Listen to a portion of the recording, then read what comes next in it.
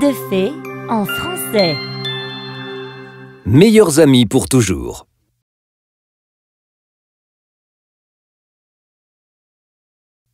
Il était une fois un petit village heureux où vivaient Hugo et Elsie que l'on voyait toujours traîner ensemble et qui ne se quittaient jamais. Regarde, Elsie, le roi des elfes Comme il a l'air fort, non? Moi, je pourrais être le roi des elfes. Tu vois mes oreilles pointues? Oh Eh bien, moi alors, je pourrais être cette jolie sorcière? Ils étaient vraiment les meilleurs amis du monde, et personne n'aurait pu les séparer. Mais contrairement à ces deux-là qui se tenaient compagnie, au fin fond de la forêt vivait un jeune nain qui s'appelait Kobe et qui n'avait absolument aucun ami. Maman, et si on allait se balader aujourd'hui pour aller voir les fées? Oh, Kobe, tu ne vois pas que je suis occupée avec le ménage. Je ne peux pas sortir avec toi maintenant. Alors, euh, est-ce que je peux y aller tout seul? Mon chéri, je t'ai déjà dit que vivaient dans cette forêt les méchants trolls affamés. Et ils se montrent principalement quand c'est... La nuit. Oui, je le sais parfaitement, mais je ferai attention, c'est promis Je suis désolée, Kobe, mais tu vas rester à la maison. Pourquoi ne pas jouer avec l'un de tes jouets, hein? Ah, D'accord, maman. Plus tard, Kobe revint voir sa mère. Maman Le repas est prêt? Oh! Maman s'est endormie. C'est ma chance. Je devrais sortir maintenant. Kobe sortit de sa maison en silence et se dépêcha de partir. Un peu par hasard, il finit par arriver enfin au village. Waouh Il y a tellement de monde Je n'étais jamais venu au village des humains avant. Oh Kobe aperçut Hugo et Elsie qui jouaient gaiement ensemble. Des enfants Ce serait génial si je pouvais devenir ami avec eux. Mais comment? Hugo, va te cacher pendant que je compte jusqu'à 10 Ha Tu ne me trouveras jamais Quand Elsie ferma les yeux, Kobe voulut saisir sa chance et avança vers elle. Kobe lui jeta un sort, et aussitôt elle fut hypnotisée et le suivit sans difficulté. Au bout d'un moment, Hugo se lassa d'attendre et sortit de sa cachette. Elsie Bizarre, elle est rentrée à la maison? Elsie était avec Kobe, qui l'avait emmenée ailleurs. Mais parce que Kobe était encore un jeune elfe, le sort qu'il lui avait jeté avait fini par s'arrêter. Où suis-je? Et toi Qui es-tu? Qui es-tu? Je m'appelle Kobe et je veux que tu joues avec moi. Quoi? Mais je ne te connais pas. Je ne veux pas jouer. Ramène-moi à la maison. Non Je t'ai vu jouer avec ce garçon. Alors tu peux aussi jouer avec moi, non? Allez, ne sois pas si grincheuse, on va jouer Kobe montra à Elsie les jolis petits papillons, lui offrit de délicieux chocolats et lui fit même des grimaces pour la faire rigoler. Mais Elsie était apeurée et mécontente. Elle ne savait pas que Kobe ne voulait que jouer.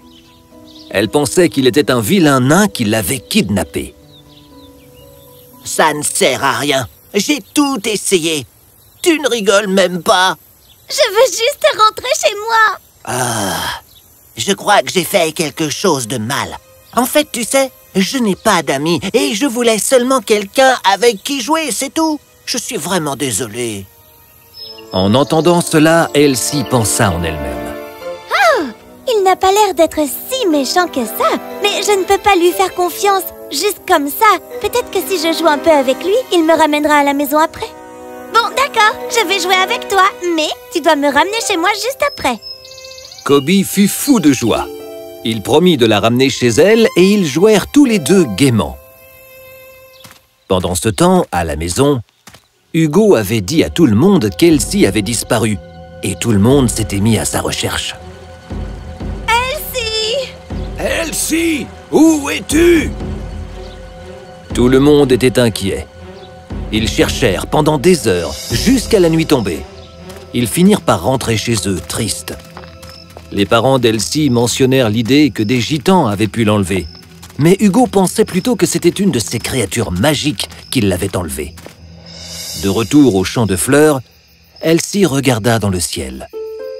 Kobe, tu dois me ramener chez moi maintenant. Il fait nuit, regarde.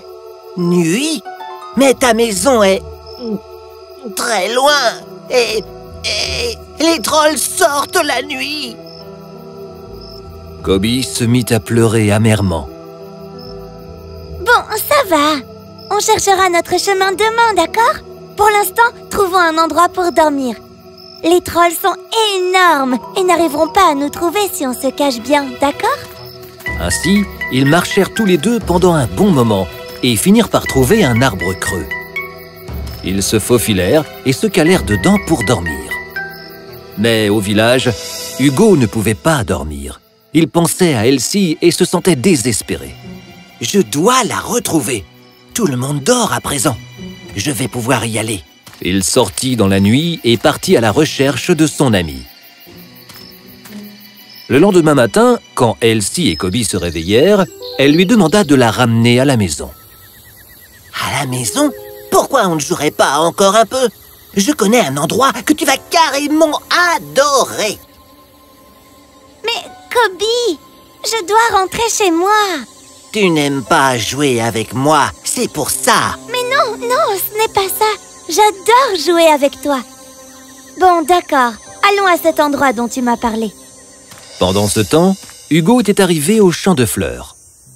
Hé Ne serait-ce pas là le ruban d'Elsie Et si? Non, je dois penser positif. Elle a dû le perdre sans faire exprès, ou s'accrocher dans les buissons. Ah, je dois la retrouver. Il continua en espérant le meilleur. Pendant ce temps, Kobe conduisait Elsie à travers un immense bois sombre. Euh, Kobe Où, euh, où est-ce que tu m'emmènes? C'est juste là.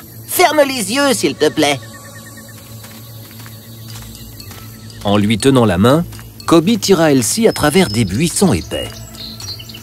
Et maintenant, ouvre les yeux. Waouh Des tournesols Oui, Kobe avait conduit Elsie dans un immense champ de tournesols. Il y avait de magnifiques tournesols, aussi loin qu'elle pouvait voir. Les deux petits allaient bien s'amuser. Pendant ce temps, Hugo venait d'arriver à l'arbre creux.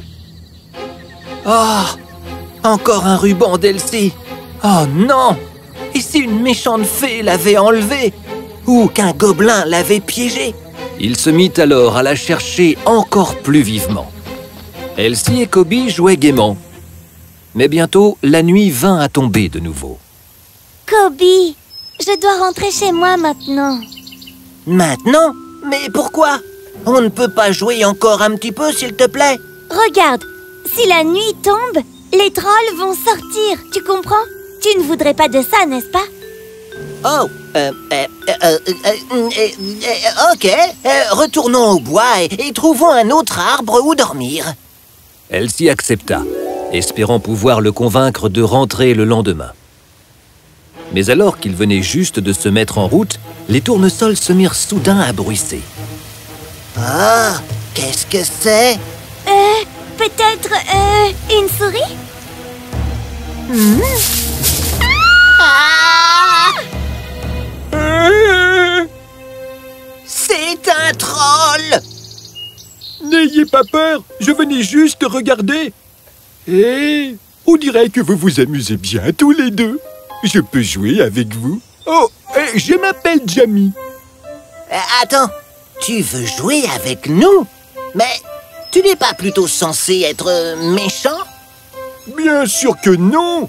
Je sais bien que tout le monde a peur parce que je suis un euh, euh, troll. Mais en fait, je veux juste me faire des amis. Tout pareil que toi, Kobe Bon, alors j'imagine que tu peux jouer avec nous. Vraiment? Et ainsi, ces trois-là se mirent à jouer ensemble. Hugo était maintenant arrivé au bois sombre et se demandait vraiment où était passée Elsie. J'espère que je vais bientôt la retrouver. Et si elle était blessée? Et si elle... Elsie Il courut dans les buissons épais et trouva Elsie, qui se tenait là et qui avait l'air embêtée. J'ai perdu Oh, c'est pas juste Pauvre Elsie. Eh bien, tu n'auras qu'à réessayer. Elsie Mais qu'est-ce que tu... Et qui sont-ils? Ah Ego Oh, tu es venu me retrouver Tu m'as tellement manqué Ce sont nos nouveaux amis, Kobe et Jamie. Ils sont vraiment très sympas. Hugo était complètement choqué de voir son ami jouer avec un troll et un nain. Et de voir Elsie si heureuse de retrouver Hugo, Kobe eut vraiment honte de lui. Elsie, je suis vraiment désolé de t'avoir gardé loin de tes amis et de ta famille. Oh, ça va aller, Kobe. Au final, ça s'est bien passé, n'est-ce pas? Ben, pas vraiment. Il nous faut encore rentrer chez nous, tu sais. Et la route est vraiment longue. Oh, attendez Peut-être que ça peut vous aider. C'est un chapeau magique. Quand je secoue la cloche et que je fais un vœu, il se réalise. On va tous pouvoir rentrer chez nous comme ça. Mais si tu avais ça avec toi, pourquoi n'as-tu pas fait le vœu d'avoir des gens avec qui jouer? Parce que ce n'est pas de cette façon qu'on se fait de vrais amis, pas vrai? Enfin bon, petite cloche, je souhaite aller à la maison d'Hugo et Elsie avec eux. Et... euh... Kobe La cloche tinta, et aussitôt ils se retrouvèrent tous debout dans le jardin d'Hugo. On est chez nous Oh, mais nos parents et tous les autres ont dû être si inquiets Ils le sont, Jamie. Pourrais-tu, s'il te plaît, souhaiter que tout le monde oublie qu'Elsie a disparu Alors, Jamie fit ce souhait et fit tinter la cloche, et il effaça ainsi la mémoire de tous les villageois. Euh... Je voudrais bien que tu fasses ça pour ma mère aussi. Ils se dirent bonne nuit et se séparèrent ici. À partir de ce jour, ces quatre-là jouèrent ensemble presque tous les jours et devinrent vite les meilleurs amis qui soient, prouvant par là même que l'amitié n'a pas de limite. Peu importe combien les autres sont différents ou semblent l'être, la vraie amitié trouve toujours son chemin.